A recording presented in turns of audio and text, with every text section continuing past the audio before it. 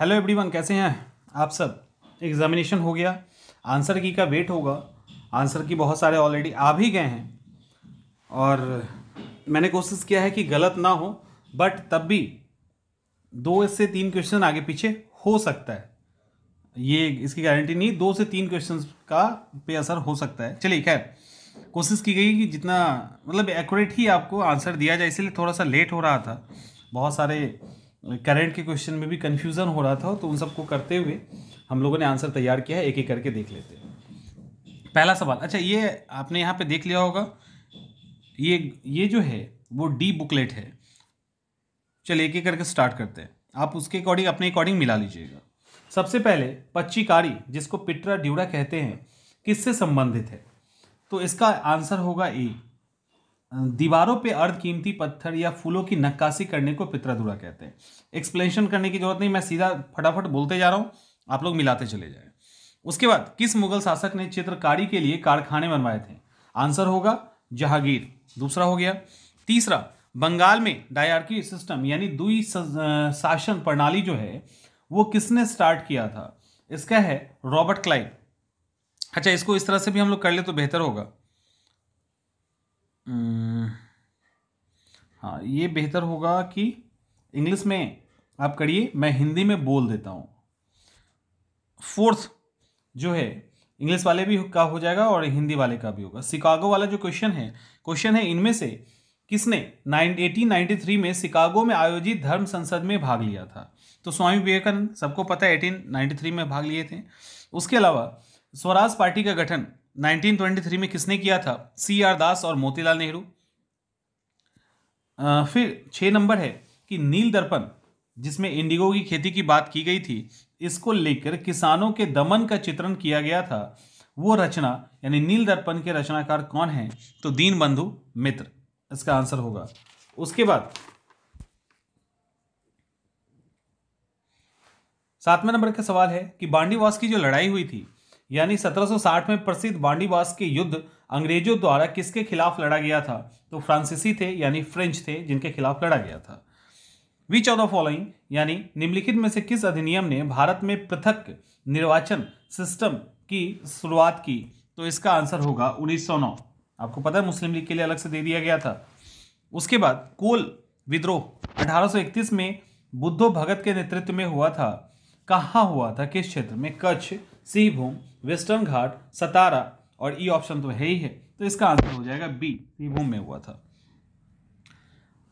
बिहार में अठारह की क्रांति का नेतृत्व किसने किया था?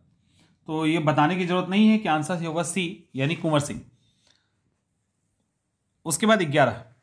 चंपारण में चंपारण में इंडिगो, यानी नील की खेती के किसानों की दशा की ओर गांधी जी का ध्यान किसने आकर्षित किया? राजकुमार शुक्ल, सब जानते होंगे।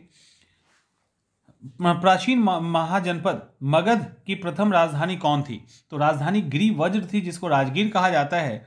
ऑप्शन नहीं होने के कारण ई ऑप्शन यहाँ पे होगा। तो पहला ई ऑप्शन हम लोगों को मिला। स्वामी सहजानंद किससे संबंधित थे? तो स्वामी सहजानंद जो थे, वो बिहार में किसान आंदोलन से संबंधित थे। चौदह नंबर में कन्फ्यूज़न हुआ है कुछ स्टूडेंट को। निम्नलिखित में से कौन सा भारत में गांधी जी का पहला सत्याग्रह आंदोलन था, जिसमें उन्होंने सविनय अवज्ञा आंदोलन का प्रयोग किया। यहाँ पे वर्ड आप कुछ लोगों ने शायद मेरे पास पता चला है, गलती हुई है। उसमें एक ये है कि फ़र्स्ट सत्याग्रह तो यूज़ किया ही गया है। यानी पहला सत्याग्रह आंदोलन था, जिसमें सविनय अवज्ञा आंदोलन का प्रयोग किया था। तो इसका आंसर चंपारण होगा। सविनय अवज्ञा आंदोलन को 1930 से जोड़ने की ज़रूरत नहीं है, बल्कि इस वर्ड का जो मेन मतलब है उससे आप रिलेट करके देखिएगा तो आपको आंसर निकल जाएगा। उसके बाद विच ऑफ़ द फॉलोइंग यानी हड़प्पा साइट्स के बारे में बात की जा रही है यानी हड़प्पा के आ, किस नगर में जुते हुए खेत मिले हैं? तो इसका आंसर सीधा है कालीबंगा। त्रिरत्न त्रिरत्न का जो कॉन्सेप्ट है अच्छा यहाँ पे गड़बड़ हुई है। यहाँ पे जिन्होंने भी हिंदी में किया है उनको कंफ्यूजन हो गया है। त्रिरत्न की बात की गई है, लेकिन इन्होंने एग्ज़ाम्पल दे दिया है right knowledge right faith and right action यानी सम्यक ज्ञान, सम्यक श्रद्धा और सम्यक चरित्र की बात की गई है। तो ये जो है बौद्ध धर्म से रिलेटेड ये ध्यान रखना। ई ऑप्शन नहीं होगा, बुद्धिज्म से रिलेटेड है। सत्रह, चौथी बौद्ध संगति किसके काल में कश्मीर में हुई थी? तो कनिष्क, इसका आंसर होगा। फिर अठारह निम्नलिखित में से किस भारतीय दर्शन इंडियन फिलोसफी की बात की जा रही है, जहाँ एटम की बात की गई है? तो एटम की बात वैशेषिक दर्शन में की गई है। सांख्य और वैशेषिक युग्म दर्शन है, लेकिन एटम की बात जो है, वो वैशेषिक ने किया है। नाइनटीन, किस दिल्ली सुल्तान ने रक्त और लॉ ब्लड एंड आयरन सिंपल है, बलबन के द्वारा किया गया था। किस मध्यकालीन शासक ने साम्राज्य मध्यकालीन भारतीय साम्राज्य व्यापक स्तर पर स्थानीय स्वशासन के लिए जाना जाता है। सेल्फ गवर्नमेंट के लिए जाना जाता है दैट इज़ चोला। चोल का जाना जाता है।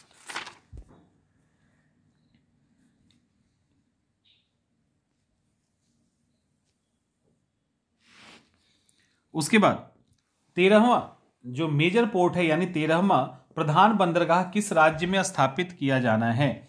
तो आंसर होगा महाराष्ट्र लोड कम करने के लिए। उसके बाद किस राज्य में सबसे अधिक सौर ऊर्जा का उत्पादन होता है? कर्नाटक टॉप पे है, जहाँ सौर ऊर्जा का सबसे अधिक उत्पादन होता है। रूफ टॉप में भी वो टॉप पे है। खनिज और ज़िले में कौन सा करेक्टली मैच्ड है? तो लाइम स्टोन कैमूर ये करेक्टली मैच्ड है। उसके बाद यहाँ पे पूछा गया है इंडस्ट्री और प्लेस दिया गया है। कौन सही तरीके से मैच नहीं है? तो इसमें जो वैगन एंड इंजीनियरिंग की बात की गई है भागलपुर में, ये टोटली गलत है। तो ये क्लियर दिख रहा है, गलत है। उसके बाद पिड मॉन्ट स्वेप की बात की गई है, यानी पिड मॉन्ट स्वेप मिट्टी कहाँ पाई जाती है? इसका आंसर होगा वेस्ट चंपारण अगला। कि यहाँ पे ये किया गया है कि आपको पेयर खोजना है उस एडमिनिस्ट्रेटिव डिवीज़न का बिहार के जहाँ पे गंगा नदी नहीं बहती है। तो इसमें एक ही पेयर है, वो है दरभंगा और मुंगेर का, जहाँ पे गंगा नदी नहीं बहती अदरवाइज़ सब जगह गंगा नदी टच कर जाती है। अब ट्राइब और ज़िले, यानी कौन सा ट्राइब किस ज़िले से संबंधित नहीं है, उसको खोजना है। तो इसका आंसर होगा मुंडा जमुई। उसके बाद अगला सवाल है कि बिहार राज्य के कुल भौगोलिक क्षेत्र की तुलना में समस्त वन क्षेत्र का प्रतिशत क्या है? इसका आंसर होगा six point eight seven B six point eight seven होगा। फिर which of the following district is having the only national park of Bihar यानी बिहार के किस ज़िले में एकमात्र राष्ट्रीय उद्यान है? तो इसका है वाल्मीकि आपको पता है, पश्चिमी चंपारण। तटी, तीस, भौगोलिक क्षेत्र की दृष्टि से जापान का सबसे बड़ा आइसलैंड, यानी द्वीप जो है, वो कौन सा है? उसका नाम है होन्सू। ये चारों चारों उसके द्वीप हैं, इन्हीं चारों पे पूरा जापान है, उसमें होन्सू सबसे बड़ा है। ग्रीनलैंड जो है, वो किस देश की टेरिटरी है? किस देश के अधिकार में आता है? तो इसका आंसर होगा ए, डेनमार्क। थर्टी टू 2018 के अनुसार विश्व के निम्न देशों में से किस देश में सबसे अधिक भारतीय आबादी रहती है? तो इसका आंसर अब हो जाएगा, बदल गया है डाटा, यूनाइटेड किंगडम। 2018 के अकॉर्डिंग, यूके जो होगा, वो आंसर होगा। 33 निम्न देश में से किस देश में 2019 में सालाना सबसे अधिक सोने का उत्पादन हुआ? तो चाइना टॉप पर है। जितना सर्च हुआ, इससे पता चला कि चाइना जो है, वो टॉप पर है। आंसर थोड़ा वेरी कर रहा है बट यूएसए फोर्थ पोजीशन पे है चाइना अभी टॉप पे है डाटा के अकॉर्डिंग 2019 के डाटा की बात की जा रही है तो चाइना नंबर वन पे है। थर्टी फोर निम्न में से किस महाद्वीप में सबसे अधिक देश है? तो ये सब जानते हैं आप लोग, अफ्रीका में सबसे अधिक देश है। उसके बाद थर्टी फाइव 2011 की जनगणना के अनुसार भारत के किस राज्य में आदिवासियों की आबादी का प्रतिशत उसकी कुल आबादी के तुलना में अधिक है? तो इसका आंसर हो जाएगा मिजोरम। 36 कॉफ़ी उत्पादन के लिए कौन सा क्षेत्र कर्नाटक में नहीं है? चिकमंगलूर, कुर्ग, बाबा बुदन और पुलनेज।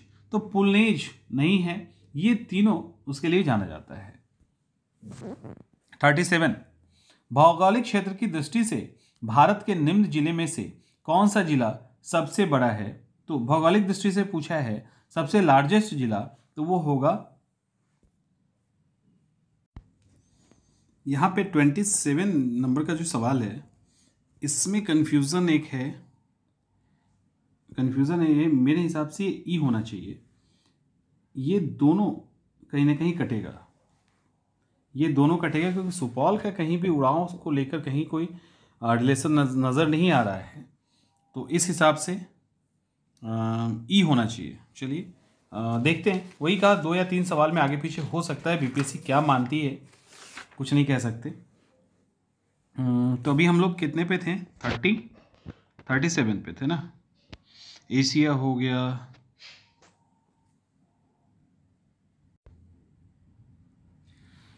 तो यहाँ पे हो गया सबसे अधिक जो कॉन्टिनेंट है, वो है सबसे, किस कॉन्टिनेंट में सबसे अधिक देश है? तो अफ्रीका हो गया। उसके बाद highest percentage of tribal population in its total population तो इसका आंसर हो जाएगा मिजोरम। अच्छा यहाँ पे हो गया था ना? पुलनेज हो गया था, यहाँ पे। थर्टी सेवन थर्टी सेवन में क्या है कि कौन सा डिस्ट्रिक्ट जो है, वो एरिया वाइज इन चारों में सबसे बड़ा है? तो उसका नाम है कच्छ। कच्छ एरिया वाइज इन चारों से बड़ा है। उसके बाद थर्टी एट है। थर्टी एट में ये कहा गया है कि इंडिया का वो कौन सा स्टेट है? यानी भारत के किस राज्य में वन्य जीव अभ्यारण्य सबसे अधिक संख्या में है? तो इसका है, मध्य प्रदेश क्लियर है। Which of the following river follow in Bihar is a in Bihar is a north following river यानी उत्तर की ओर बहने वाली क्वेश्चन बिहार में प्रवाहित होने वाली निम्न नदियों में से उत्तर की ओर प्रवाहित होने वाली कौन सी नदी है? तो ऑप्शन होगा ई e, क्योंकि इनमें से कोई भी वो नदी नहीं है जो उत्तर की तरफ़ बहती है सोन बहती है बट यहाँ पे दिया हुआ नहीं है। अटल सुरंग के बारे में सवाल पूछा गया है। है करेंट का लेकिन डिटेल के अंदर सवाल है। अटल सुरंग which of the following Himalaya Atal सुरंग क्रॉस यानी भारत निम्न हिमालय पर्वत श्रेणियों में से किस पर्वत श्रेणी को अटल टनल पार करती है? तो इसका आंसर होगा ईस्टर्न पीर पंजाल टनल। उसके बाद आगे। यहाँ पे रूल ऑफ़ लॉ का मतलब क्या होता है? रूल ऑफ़ लॉ का मतलब होता है सभी के लिए एक कानून और सभी के लिए एक न्यायतंत्र। क्वेश्चन देखने में बड़ा है आंसर बिल्कुल हल्का है। उसके बाद अगला सवाल है कि 29 पंचायती राज संस्थाओं को 29 कार्यों की सूची किस अनुच्छेद के तहत दी गई है? तो इसका आंसर हो जाएगा आर्टिकल 243 जी के तहत दिया गया है। नागरिकता संशोधन कानून कब पारित किया गया? डायरेक्ट फैक्ट पूछा गया, इसलिए मैंने मैंने, मैं बोलता भी रहता था कि डेट कुछ याद रखा कीजिए। 11 दिसंबर 2019 अगला है कि तिहत्तरवें संविधान संशोधन की वैधानिक शुरुआत किस संविधान संशोधन बिल से हुई? यानी कब से उसको स्टार्ट किया गया था? तो इसका आंसर हो जाएगा sixty fourth constitutional amendment bill से ही उसकी शुरुआत की गई की गई थी। पास नहीं हो पा रहा था, वो बात अलग है। अगला सवाल है कि बिहार सोलह में बिहार के पटना शहर में कौन सी कंपनी ने अपना फैक्ट्री स्थापित किया? तो डच ईस्ट इंडिया कंपनी ने अपना फैक्ट्री स्थापित किया था। निम्नलिखित में से कौन सा विकेंद्रीकरण का वैशिष्ट नहीं है? मतलब विकेंद्रीकरण का डिसेंट्रलाइजेशन का करेक्टरिस्टिक नहीं है। तो मेरे हिसाब से सी होना चाहिए। थोड़ा सा यहाँ पे कंफ्यूजन है बीपीएससी आंसर बदल सकती है। वैसे सी होना चाहिए।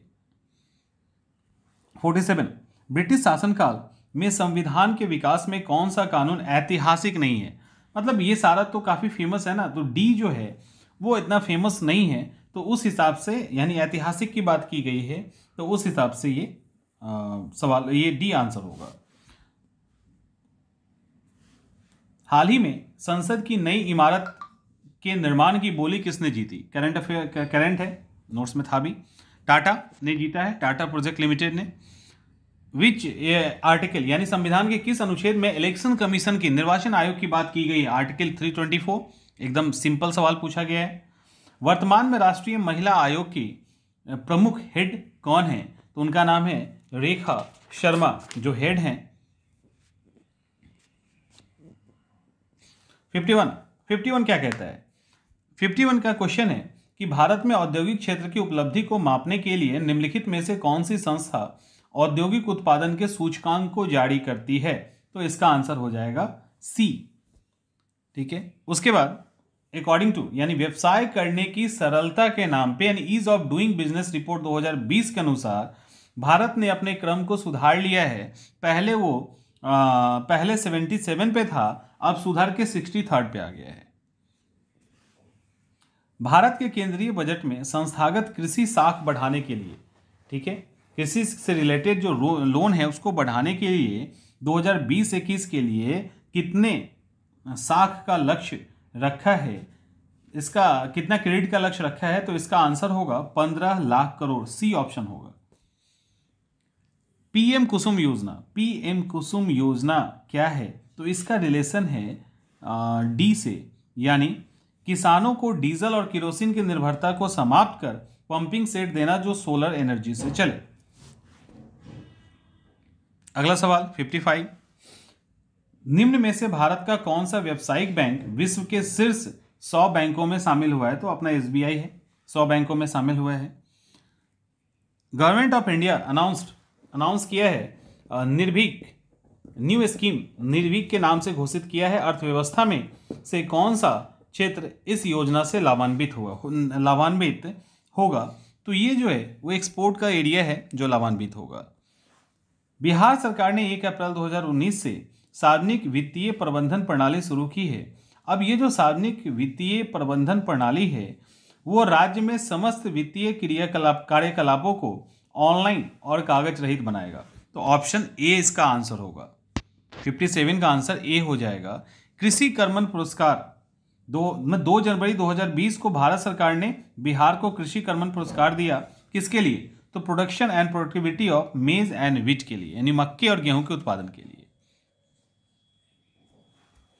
अगला है, सतत जीविकोपार्जन योजना। यहाँ पे थोड़ा सा कंफ्यूजन है। सतत जीविकोपार्जन योजना को लेकर, यानी बिहार सरकार ने अगस्त 2018 में एक नई योजना, सतत जीविकोपार्जन योजना शुरू की है। इसका उद्देश्य क्या है? कहीं ना मेरे हिसाब से ई हो सकता है इसका क्योंकि इसके अंदर बी भी आ रहा है और सी भी आ रहा है। लोकल बॉडीज से रिलेट में ग्रामीण संगठन की भी बात की गई है जीविका की भी बात की गई है सेल्फ हेल्प ग्रुप की भी कहीं ना कहीं बात की गई है। तो इसको लेके थोड़ा सा कंफ्यूजन है कि बी सी अगर दोनों होगा तो ई e, तो ज़्यादा चांस है ई e होने का। अब बिहार क्या मानती है बीपीसी क्या मानती है वो जाने।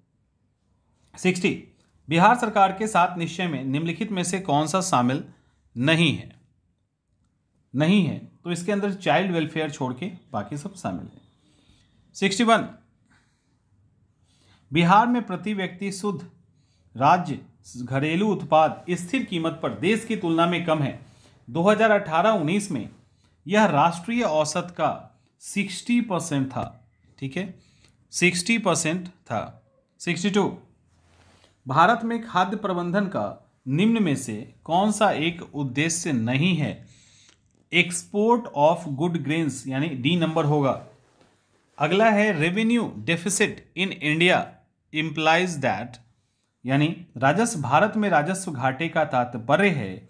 भारत सरकार को अपने व्ययों के वित्त पोषण के लिए उधार लेने की आवश्यकता है, जो पूंजीगत परिसंपत्ति का निर्माण नहीं करती है। यानी ऑप्शन बी जो होगा वो सही है।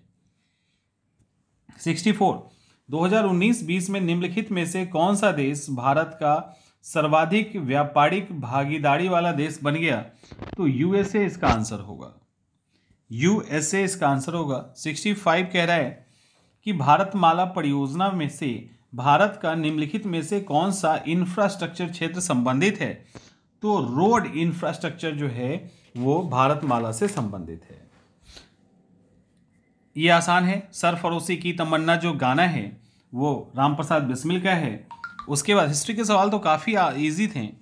उसके बाद बंगाल विभाजन की प्रत्याघात के रूप में कौन सा आंदोलन शुरू हुआ? तो स्वदेशी मूवमेंट सी ऑप्शन होगा। 68 1945-46 में दिल्ली में हुई आईएनए के मुकदमे में जो वकील पेश हुए थे जिनके नेतृत्व में हुआ था, वो भूला भाई देसाई थे। तो ये भी हो गया। आसान है। मैडम भिखाजी कामा ने भारत के तिरंगे को कहाँ फहराया था? तो स्टुटगार्ड में हुआ था जर्मनी। तो ये भी आसान सवाल था। सेवेंटी इनमें से कौन सी जोड़ी आ, सही है? तो इसमें जो सही है वो सी आर दास की जोड़ी सही है। सेवेंटी वन पूर्ण स्वराज दिवस कब घोषित किया गया था? पूर्ण स्वराज दिवस कब घोषित किया गया था? तो 26 जनवरी 1930 को और पहली बार उसको मनाया गया। बिहार एस्टेब्लिश्ड कब हुआ? 1912 में बिहार की स्थापना हुई थी। तीन कठिया सिस्टम की बात कर रहे हैं बिहार के तो तीन कठिया सिस्टम में कितने भूमि का भाग अमानत के रूप में रखा जाता था? तो तीन बाई बीस, यानी बीस कट्ठे में तीन कट्ठे का अमानत के रूप में रखा जाता था। बिहार में पहले मुख्यमंत्री कौन थे? एक आसान सा सवाल Shri Krishna Singh.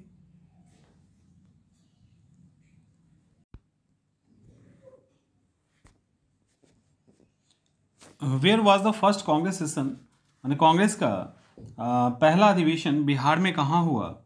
तो इसका है पटना। सेवेंटी सिक्स जयप्रकाश नारायण को कौन सी उपाधि दी गई थी? तो जयप्रकाश नारायण को बी लोकनायक की उपाधि दी गई थी आसान सवाल है। सेवेंटी सेवन गांधी जी ने कहाँ पढ़ाई की थी? तो गांधी जी ने आ, किस कॉलेज में गांधी जी ने पढ़ाई की थी? श्यामल दास कॉलेज भावनगर है छः महीने के आसपास इन्होंने पढ़ाई की थी वहाँ पे। उसके बाद अठारह के विद्रोह में सक्रिय भाग किसने लिया था? तो ये सब उनमें भाग लेने वाले में है। इसीलिए इसका आंसर जो है ई हो जाएगा। उसके बाद 79 79 में जवाहरलाल नेहरू ने कहा था कि हमें एक ऐसी कार दी गई है जिसमें सब ब्रेक है, जिसमें सिर्फ़ ब्रेक है, किंतु इंजन नहीं है। तो इन्होंने ऐसा बात, ऐसी बात 1935 एक्ट के लिए की थी। उसके बाद दांडी यात्रा कितने दिन चली थी? तो दांडी यात्रा ट्वेंटी फोर डेज़ चली थी। Eighty one. Eighty one math का सवाल है। मैथ का सवाल पहला ऑप्शन ए। उसके बाद दूसरा जो सवाल है मतलब मोहन पच्चीस दिन में काम करता है, सोहन बीस दिन में करता है, दोनों पाँच दिन के लिए श्रम करें, बाद में मोहन काम छोड़ दे तो इस तरह का जो सवाल है उसका ग्यारह डेज़। ये तो आप देख के मिला लोगे। घड़ी से रिलेटेड जो सवाल है कि घड़ी दोपहर में बारह बजे चलना शुरू करती है, पाँच बजकर दस मिनट पे घड़ी की सुई घूम जाएगी, कितने डिग्री घूमेगी? तो इसका आंसर सी होगा, वन फाइव फाइव डिग्री। उसके बाद एटी फोर में आते हैं तो एटी फोर में बी ऑप्शन होगा। यानी कौन सी प्राकृतिक संख्या का वर्ग नहीं हो सकता? तो चौदह, छत्तीस, बयालीस। एटी फाइव, गिवन नंबर करके दिया गया है। इसका आंसर थ्री एंड टू होगा। फिर 86 की बात करें तो 86 में जो होगा वो ए होगा, यानी फोर होगा। उसके बाद सवाल है, किसी शहर की जनसंख्या इतनी है, यदि वो पाँच परसेंट की दर से बढ़े तो आंसर क्या होगा? तो आंसर इसका ए हो जाएगा। 87 हो गया। 88 में बोला गया है सीक्वेंस पूछा गया है, इनमें से इस सीक्वेंस में कौन सी मिसिंग नंबर है? तो इसका आंसर 180 है।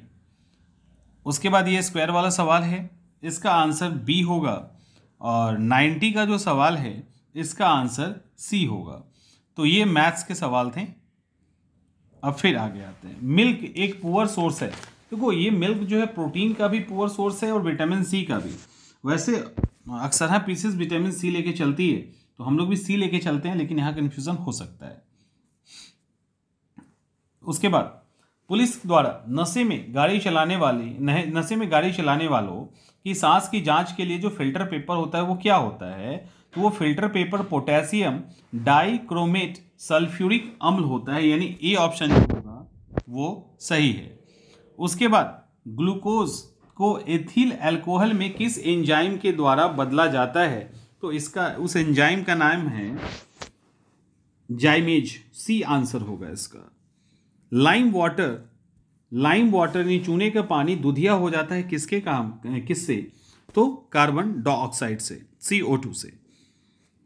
पेट्रोल और डीजल के अधूरे जलने से क्या उत्पन्न होता है? तो कार्बन मोनोडॉक्साइड कार्बन मोनोडॉक्साइड 96 एक घोल में पीएच तीन से छः बदलता है तो इसमें H प्लस की आयन की सांद्रता क्या होगा? तो सांद्रता जो है, उसका जो कंसंट्रेशन है, वो एक हज़ार गुना कम हो जाएगी। यानी डी ऑप्शन होगा। 97 रेत और नेप्थलीन के मिश्रण को अगर अलग करना हो तो क्या करना होगा? तो इसका आंसर होगा सब्लिमेशन यानी ए ऊर्ध्वपातन विधि से इसको हटाया जाएगा।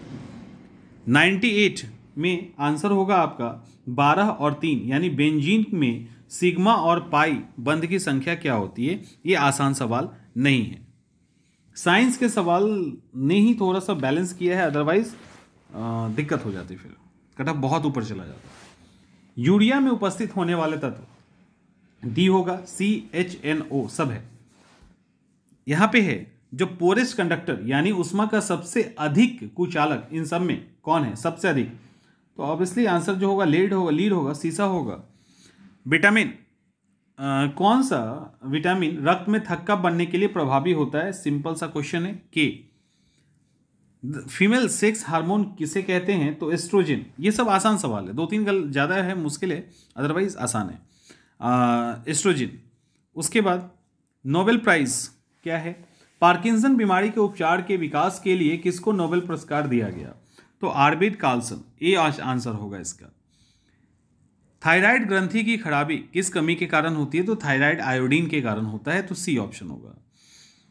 अगला है, करबाहट के लिए जीव का कौन सा भाग संवेदनशील होता है? तो करबाहट के लिए जो जीव का है, पीछे का भाग संवेदनशील होता है।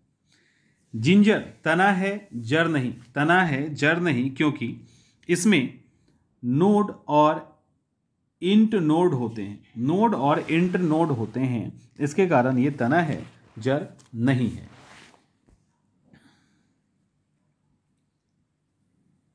अगला है निम्न में से सबसे मीठी चीनी कौन सी है? सुक्रोज। और आपको फ्रुक्टोज भी देखने को मिलेगा। तो थोड़ा सा यहाँ पे आप बीपीएससी किसको मानते हैं, इसको लेके कंफ्यूजन है। बीपीएससी के आंसर के बाद ही पता चलेगा, क्योंकि उनके पास अपना एक्सप्लेनेशन होता है। इनमें से कौन? सच्चा फल, यानी ट्रू फ्रूट नहीं है। तो ट्रू फ्रूट जो है, आलू बुखारा, यानी डी ऑप्शन नहीं है। उसके बाद फलियाँ। अधिक पौष्टिक होती है क्योंकि उसमें प्रचुर मात्रा में क्या होता है? प्रोटीन होता है बी ऑप्शन ये सिंपल सा है। लौंग एक मसाला है, कहाँ से मिलता है? तो फ्लावर बर्ड यानी फूलों की कली से डी ऑप्शन होगा।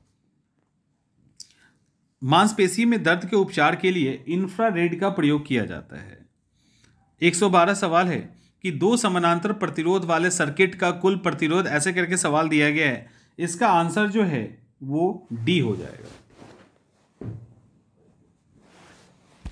उसके बाद अगला, अगर अर्धचालक को, यानी सेमीकंडक्टर को गर्म करेंगे तो उसका प्रतिरोध क्या होगा? तो सामान्य आंसर लेंगे तो डिक्रीज होगा अदरवाइज़ यहाँ पे भी दिक्कत हो सकती है डी ऑप्शन पे भी जाया जा सकता है। तो वैसे नॉर्मली जो आंसर होगा वो बी होगा। फेराडे कांस्टेंट यहाँ पर भी थोड़ा कन्फ्यूज़न है। फेराडे स्थिरांक जो होता है, वो यूनिवर्सल कांस्टेंट होता है।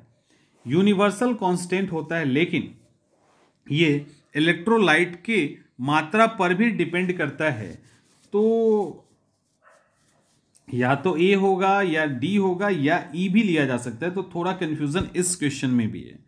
वैसे जनरल पूछिएगा तो डी आंसर होगा। लाइट ईयर की बात करें, प्रकाश वर्ष किसकी इकाई है? तो प्रकाश वर्ष डिस्टेंस यानी दूरी की इकाई है।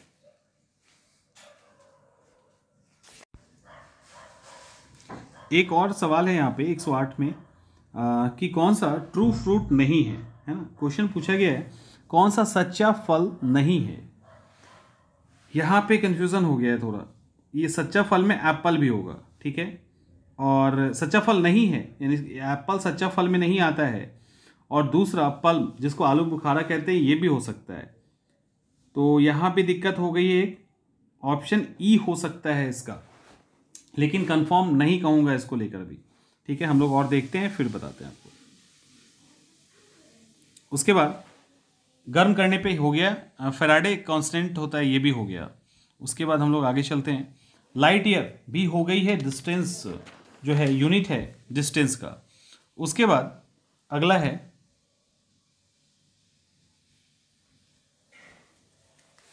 अगला है कि जब प्रकाश एक माध्यम से दूसरे माध्यम में जाता है तो क्या नहीं बदलता है?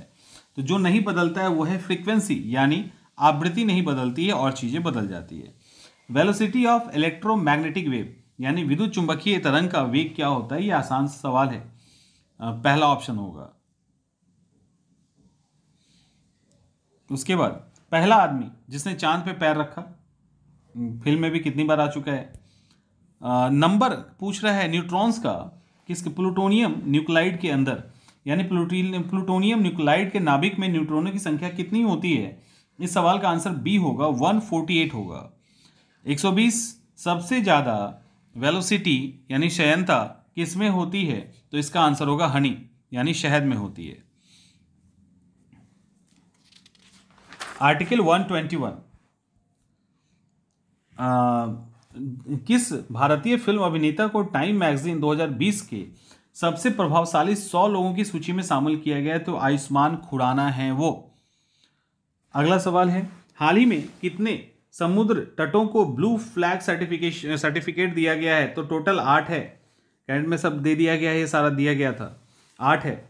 रामविलास पासवान जो है स्टार्ट किए थे जब तो सबसे पहली पॉलिटिकल पार्टी कौन थी जिससे उन्होंने अपनी पॉलिटिकल कैरियर को शुरुआत किया था? तो उसका नाम है संयुक्त सोशलिस्ट पार्टी। 124 भारत के निर्वाचन आयोग ने कब बिहार विधानसभा 2020 के आम चुनाव के लिए प्रेस नोट जारी किया था? तो इसका है 23 सितंबर 2020 21 सितंबर 2020 को वीडियो कॉन्फ्रेंस द्वारा किस राज्य में घर तक फाइबर योजना स्टार्ट किया गया? तो ये बिहार होगा घर तक फाइबर योजना के लिए। बिहार में राजनीतिक स्वर्गीय रघुवंश प्रसाद सिंह पहली बार किस लोकसभा के लिए निर्वाचित हुए? तो इसका आंसर होगा बारहवीं लोकसभा के लिए निर्वाचित हुए। क्वाडी लैटरल सिक्योरिटी डायलॉग नामक एक अनौपचारिक युद्ध नीति समूह में निम्नलिखित में से कौन सदस्य नहीं है? तो क्वाड की बात की जा रही है तो चाइना इसमें सदस्य नहीं है।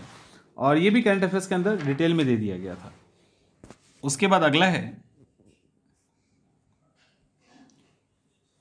सितंबर 2020 में वीडियो कॉन्फ्रेंस के माध्यम से ब्रिक्स के सांस्कृतिक मंत्रियों की पांचवी बैठक में किसने भारतीय दृष्टिकोण का प्रतिनिधित्व किया था? तो इसका आंसर है प्रहलाद सिंह पटेल। ये थोड़ा सा मुश्किल है, थोड़ा मुश्किल है जून 2020 में छत्तीसवां आसियान शिखर सम्मेलन वर्चुअली कहाँ आयोजित हुआ था? तो आंसर होगा वियतनाम में हुआ था। Human capital index. Human capital index 2020 में टॉप पर कौन है? सिंगापुर। सिंपल सा सवाल है। रिसेंटली यूएसए में operation MAGA.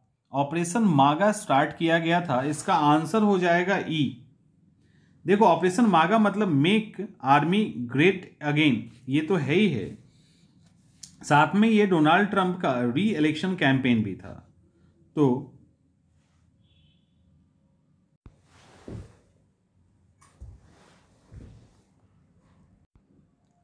Make American great again की बात की गई थी आर्मी नहीं था अमेरिकन का यूज़ किया गया था तो ये गलत हो गया। और डोनाल्ड ट्रंप ने अपने री इलेक्शन के कैंपेन के लिए इसका यूज़ किया गया, किया था। तो 131 हो गया। 132 की बात करें तो which Arab state has started first nuclear power plant तो यहाँ यूएई होगा, संयुक्त राज्य अमीरात। इसराइल से शांति समझौता करने वाला पहला अरब देश कौन था? तो इसका नाम है जॉर्डन। 34 में अक्टूबर 2020 से जून जून 2021 तक के लिए किस देश को इंटरनेशनल ऑर्गेनाइजेशन के संचालक मंडल का का हेड बनाया गया है? तो ये इंडिया है। ये इंडिया है। ऑपरेशन माई सहेली यानी मेरी सहेली जो है, वो रेलवे के द्वारा स्टार्ट किया गया है। रेलवे के महिलाओं के सुरक्षा के सुरक्षा के लिए इसको स्टार्ट किया गया है। उसके बाद अगला है, फिट इंडिया। फिट इंडिया अभियान जो था, उसकी पहली वर्षगांठ के अवसर पे फिटनेस का डोज, आधा घंटा रोज, जो मंत्र है, वो हर्षवर्धन साहब ने दिया था। तो सी आंसर हो जाएगा। उसके बाद अगला है, राजमाता विजय विजय राजे सिंधिया के सौवें जन्म दिवस पे मोदी जी ने सौ रुपए का, सौ रुपए का सिक्का सॉरी क्वाइन नहीं सी होगा सी सौ रुपए का क्वाइन जारी किया।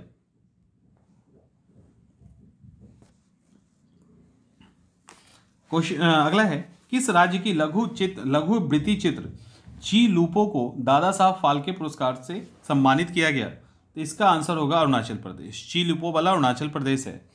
उसके बाद ई किसान धन ऐप किसानों के लिए प्राइवेट सेक्टर की बैंक है, उसने स्टार्ट किया है, उसका नाम है H D F C bank एक सौ चालीसवां सवाल है कि भारत के किस शहर में अंतर्राष्ट्रीय हवाई अड्डे पर सबसे पहले कोविड नाइन्टीन परीक्षण की सुविधा स्टार्ट की गई थी, सबसे पहले। तो उसका आंसर होगा दिल्ली। दिल्ली में स्टार्ट किया गया था। राफेल फाइटर एयरक्राफ्ट किस वायुसेना स्टेशन पे औपचारिक रूप से भारतीय वायुसेना में शामिल किया गया? तो अम्बाला एयरबेस पे उतरा था चिल्ला चिल्ला के सब कह रहे थे उस समय। भारत की पहली स्वदेशी एंटी रेडिएशन मिसाइल का नाम जो है, वो नाम है रुद्रम।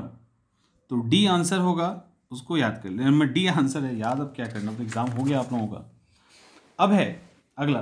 भारतीय क्रिकेट कंट्रोल बोर्ड के द्वारा सर्व भारतीय महिला चयन समिति का अध्यक्ष किसको नियुक्त किया गया है? इनका नाम है नीतू डेविड को यूएस ओपन टेनिस टूर्नामेंट में women single women single US Open tennis tournament को किसने जीता? तो नाओमी ओसाका ने जीता है। अगला है अभी 4 अक्टूबर 2020 को आयोजित लंदन मैराथन में पहले स्थान पर रहने वाले एथलीट कौन थे? तो इनका नाम है सूरा किटाटा। सूरा किटाटा पहले स्थान पे थे। 146 15 अगस्त 2020 को एम एस धोनी के साथ किस भारतीय क्रिकेटर ने क्रिकेट से संन्यास ले लिया? तो उसका नाम है सुरेश रैना। दोनों ने लिए, दोनों ने ले लिया, महेंद्र सिंह धोनी के लेने के बाद जस्ट इन्होंने भी ले लिया। National school of school of drama का अध्यक्ष परेश रावल को नियुक्त किया गया है। 148 डीआरडीओ का हेड कौन बने हैं? तो डॉक्टर जी सतीश रेड्डी को डीआरडीओ का हेड बनाया गया है। 149 किस विषय के लिए डॉक्टर बुसरा, अतीक और डॉक्टर रितेश अग्रवाल को शांति स्वरूप भटनागर पुरस्कार के लिए चुना गया है? तो इसका है मेडिकल साइंस यानी चिकित्सा विज्ञान सी ऑप्शन। और लास्ट है 150 कि नोबेल शांति पुरस्कार के 2020 के लिए वर्ल्ड फ़ूड प्रोग्राम विश्व खाद्य कार्यक्रम को लिया गया है। और ये रहा आपका 150 के 150 सवाल। दो से तीन सवाल में, दो से तीन सवालों में दिक्कत हो सकती है।